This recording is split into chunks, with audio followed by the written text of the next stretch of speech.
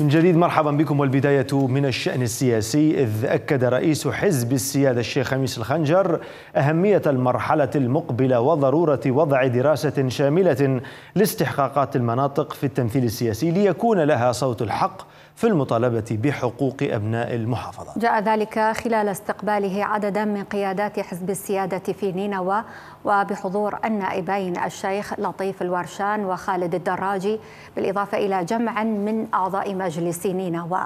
كما شدد الشيخ الخنجر على ضرورة عدم مقاطعة الانتخابات تحت أي ذريعة كانت. وذلك لتفويت الفرصة على المتربصين بأصوات المدن المحررة وإقصاء أهلها من المشاركة وما يترتب على ذلك من ضياع للحقوق. من جانبهم أكد الحضور على بذل جهود استثنائية لضمان مشاركة واسعة تعزز ضمان التمثيل الحقيقي واستحقاقات محافظة نينوى.